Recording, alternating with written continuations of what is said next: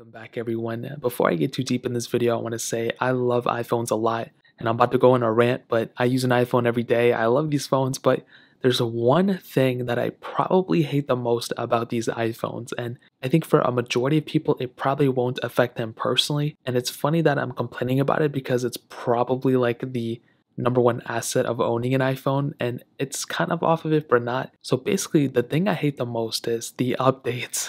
And it's not really what you think. It's not the update cycle or anything like that. It's really when I have to download the update through my settings app. That is when I run into the most amount of problems I've ever had in my life on any device at all. It's funny because the update download speeds aren't that bad. Obviously, can you know depending on where you're at. When you go into settings, obviously you go into general, you go into software update. Usually, downloading the update itself doesn't take that much time, you know, but there's always random issues that I run into, but on top of that, there are almost always half an hour to an hour wait times of the thing just being stuck on preparing update. Now, obviously, this is running into another problem, which checking for an update, but I guess I can't find it. Now, there's a couple of issues that I always run into. This one is update requested. The other one is, I don't even know what I want. The other one, it's like preparing update. Now, most of the time, it does eventually get through and it's fine. But recently, I've even run into issues where it downloads the update and then it makes me re-download it because there were initial problems with that first download.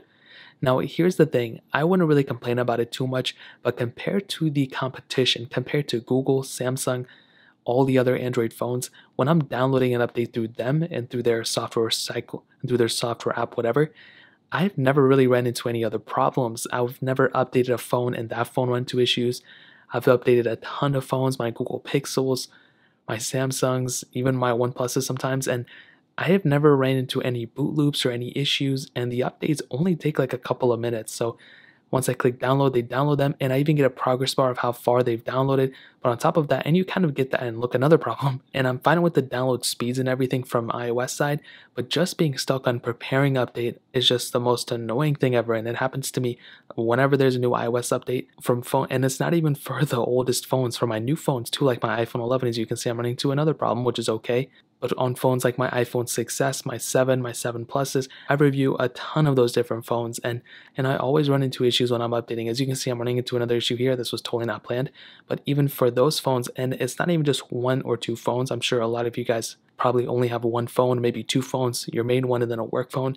For somebody like me who has to, you know, review a ton of those different softwares, on all those different iPhones. Like it's just like so weird. I will never understand it, and I didn't, and it didn't even hit me till the other day when I updated my Galaxy S20 to One UI 2.5.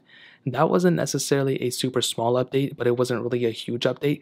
But not only did I get like a progress bar saying, you know, oh, this long until it's downloaded, but it also gave me the option of just installing it right away. Like it literally allowed me to install it right then and there after like a couple of minutes of it downloading. Versus on iOS, every time it's downloaded, it doesn't allow me to install it until it's done preparing the update. So I hope Apple can take away that preparing update thing and I hope they can make the software just maybe a little bit more intuitive to install. Like I know it's super easy, you click the button and it goes through, but it takes a long time and on top of that, sometimes I might be in the middle of something and then you know I get a little pop up that says, Oh, do you want to install the update now? And it tells me to type in my passcode.